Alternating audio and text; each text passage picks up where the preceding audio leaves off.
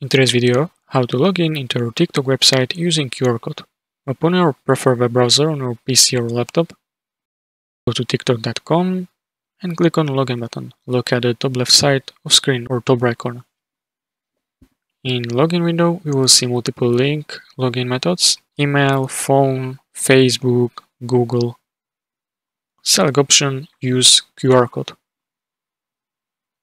On your mobile device, open TikTok application and ensure that you're logging into your TikTok account on your phone. Then go to your profile page by tapping on the profile icon at the bottom right corner and then tap on Share Profile, which will generate QR code for your TikTok account. This QR code share with others to open your profile. But for process, we need to scan different QR code.